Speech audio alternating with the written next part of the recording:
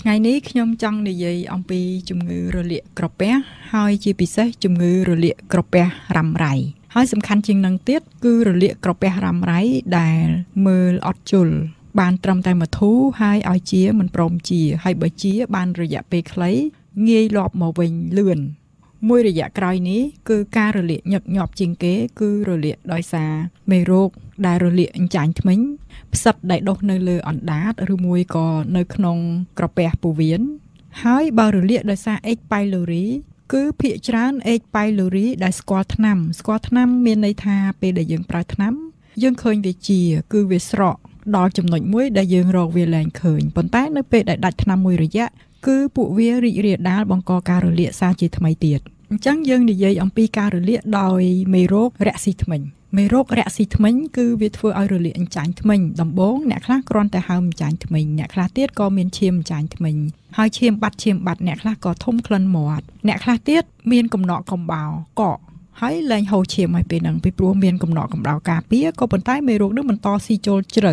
គឺវាស៊ីអញ្ចាញ់ ហើយវាចាប់ផ្ដើមស៊ីឆ្អឹងដែលព័ទ្ធជុំវិញធ្មេញគឺឆ្អឹងថ្គាមលើនិងឆ្អឹងថ្គាមក្រោមធ្វើឲ្យឆ្អឹងហ្នឹងមានការសឹករិចរិលហើយសឹកមានពេលខ្លះរហូតដល់ពេលយើងជ្រុះធ្មេញទៅបាត់ដកធ្មេញទៅបាត់ត្រូវការដាំបង្គោលធ្មេញគឺអត់មានឆ្អឹងដាំទេគឺឆ្អឹងហ្នឹងវាខូចអស់ដាំលែងកើតទោះជាមានលុយក៏ដោយ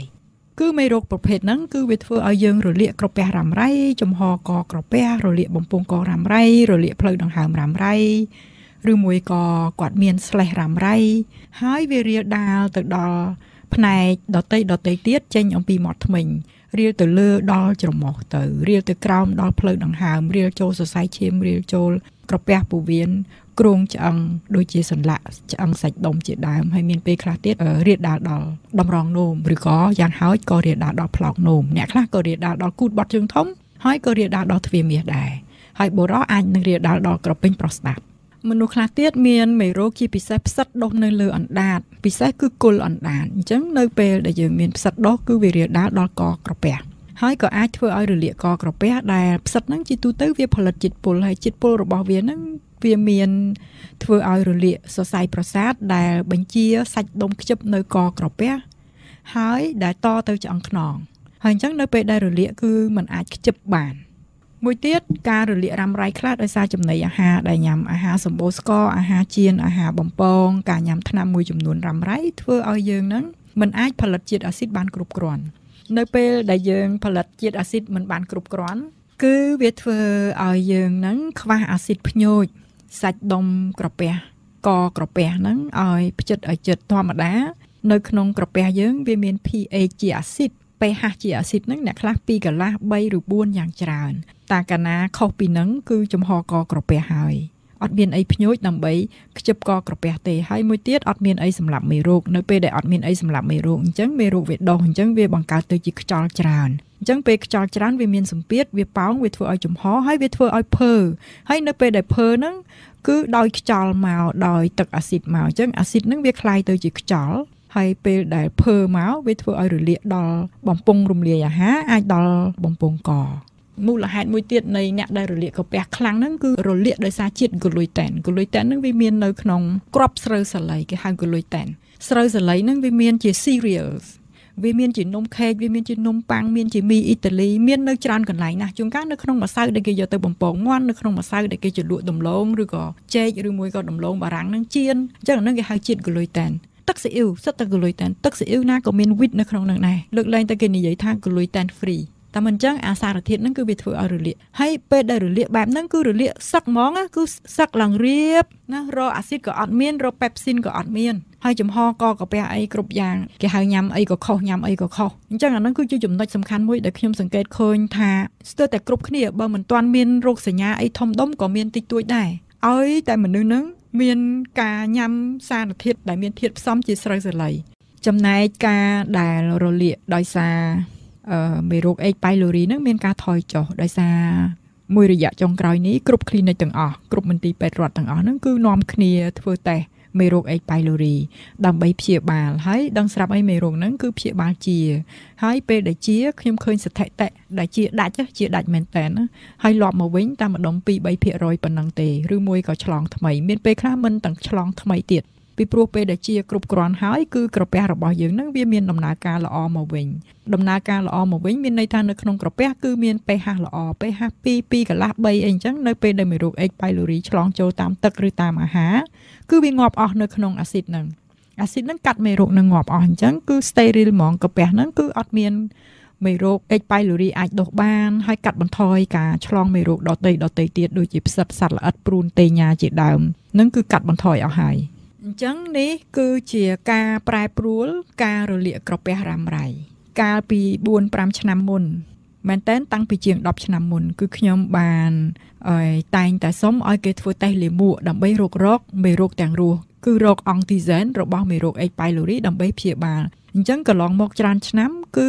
មានការថយចុះហើយអានឹងវាអត់ចម្លែកទេនៅពេលដែលគេរុករកហើយគេព្យាបាលគឺវាជាអញ្ចឹងគឺវាអត់ចម្លែក ហើយអញ្ចឹងកើនឡើងអីវិញកើនឡើងមេរោគរលាកអញ្ចាញធ្មេញមេរោគដង្កូវស៊ីធ្មេញនិងផ្សិតដែលដុះនៅក្នុងមាត់អញ្ចឹងបើសិនជាយើងមិននាំគ្នាទៅធ្វើការទប់ស្កាត់ទេ គឺវានឹងមិនថយចុះទេ4 5ឆ្នាំទៅមុខទៀតហ្នឹងគឺជីដូនរៀលទៅកូនកូនរៀលទៅចៅចាអញ្ចឹងជីដូនកូននិងចៅហ្នឹងគឺមកផ្ទះហ្នឹងនាំគ្នាពុកថ្មិញនាំគ្នារលាកកាពះគ្រប់គ្នា ពីព្រោះមេរោគនៅក្នុងមាត់ថ្មិញហ្នឹងយើងញ៉ាំបាយជាមួយគ្នាយើងនិយាយគ្នាលេងខ្ទៀតដែរហើយពេលដែលជាពិសេសជីដូនបចុកបាយចៅម្ដាយបចុកបាយកូនជួនកាលជីដូនហើយនឹងម្ដាយហ្នឹងគាត់ដួសគាត់ដួសបាយយកទឹកដួសសម្លហើយជួនកាលមិនមែនយើងអ្នកដួសទៀតគឺអ្នកធ្វើការនៅក្នុងផ្ទះហើយអ្នកធ្វើការនៅក្នុងផ្ទះហ្នឹងកាលណាយើងអត់មើលគាត់ គាត់អាចចម្លងរោគមកយើងអេកប៉ៃលូរីក៏ចម្លងនៅពេលដែលគាត់ដួសនៅពេលដែលគាត់កាន់ចាប់ចានស្លាបព្រាលើកម្ហូបនឹងយកមកឲ្យយើងហើយមេរោគតកៅស៊ីថ្មិញតែកាលណាគាត់មានហើយគាត់អត់ដុសថ្មិញហើយពេលដែលគាត់រៀបចានរៀបស្លាបព្រាគាត់និយាយខ្ទាតទឹកមាត់ដាក់គាត់យកកែវទឹកមកឲ្យយើងញ៉ាំ គាត់និយាយបន្លែងគ្នាលេងឬក៏ឆ្លើយនឹងសំណួរផ្សេងផ្សេងរបស់យើងគឺខ្ទាតទឹកមាត់ចូលទឹកចូលបាយចូលកែវយើងចូលចានយើងអញ្ចឹងទៅឥឡូវហ្នឹងកាត់បន្ថយបានដោយសារការពាក់ម៉ាស់ប៉ុន្តែទោះជាយើងពាក់ម៉ាស់ក៏នៅអាចនឹងបន្តការឆ្លងបានម្ដុំ25%ឆ្លងកាត់ម៉ាស់ដោយសារនៅពេលដែលយើងនិយាយខ្លាំងខ្លាំងការខ្ទាតទឹកមាត់វាច្រើនហើយនិយាយច្រើនក៏ខ្ទាតកាន់តែយូរអញ្ចឹងឱកាសកាន់តែច្រើន ហើយអញ្ចឹងការរុករកការរលាកកាពះហ្នឹងគឺក្រៅពីមេរោគ H pylori ហ្នឹងគឺត្រូវរកផ្សិតក្នុងអណ្ដាតអាចនឹងរកឃើញផ្សិតនៅក្នុងគូតបត់ជើងធំអាចនឹងរកឃើញមេរោគនៅអញ្ចាញធ្មេញអាចនឹងថតទៅឃើញពុកដល់ឬធ្មេញហើយសឹកឆ្អឹងណាជួនកាលសឹកផ្នែកខាងលើសឹកផ្នែកខាងលើរហូតដល់ឬធ្មេញហ្នឹងវាអត់មានកន្លែងនៅអញ្ចឹងវាសឹកទៅធ្វើឲ្យឬធ្មេញដែលយើងមានធ្មេញលើហ្នឹងវារុកចូលដល់ក្នុងប្រហោងច្រមុះក៏មានដែរ ក៏ឃើញឃើញញឹកញាប់អញ្ចឹងអញ្ចឹងបើយើងទប់ស្កាត់ទប់ស្កាត់បានយើងទប់ស្កាត់សួរថាអាយុប៉ុន្មានទប់ស្កាត់តាំងពីជាង10ឆ្នាំទៅអ្នកខ្លះចាប់ផ្ដើមដំណើរការនៃការសឹកឆ្អឹងហ្នឹងដោយសារអីគាត់ឆ្លងហើយនឹងគាត់ខ្ជិលដុសធ្មេញហើយគាត់ញ៉ាំស្ករច្រើនញ៉ាំទឹកដោះគោច្រើនអីដុសធ្មេញដែរតែដុសមិនទៀងទាត់អីអញ្ចឹងឬមួយក៏មានកតាដំណរពូជថែមទៀតឬមួយក៏អាមេរោគហ្នឹង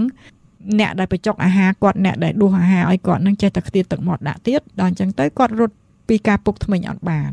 ហើយប្រយ័ត្នប្រយែងនៅក្នុងការញ៉ាំអាហារអាហារដែលបង្កឲ្យពុកធ្មេញហ្នឹងគឺដូចខ្ញុំបានរៀបរាប់ពីខាងដើមយើងអត់អាចប្រើអាហារបែបហ្នឹងទេហើយបើសិនជាយើងប្រើអាហារបែបហ្នឹងដើម្បីឲ្យកាត់បន្ថយការពុកធ្មេញគឺទី1គេឲ្យយើងញ៉ាំត្រសក់ត្រសក់ឆៅអីហ្នឹងញ៉ាំទៅទៅពៀយើងញ៉ាំនំហើយយើងទៅពៀត្រសក់ឆៅហ្នឹងទោះជាយើងទៅពៀខ្ជាក់ចោលក៏បានដែរជួនកាលទៅពៀជី ឬមួយក៏ផ្លែប៉ោមហើយបើយើងខ្ជិលលេបយើងខ្ជាក់ចោលទៅក៏បានដែរក៏វាដោយអាកំតិចកំទីកលៀតគៀនកោះ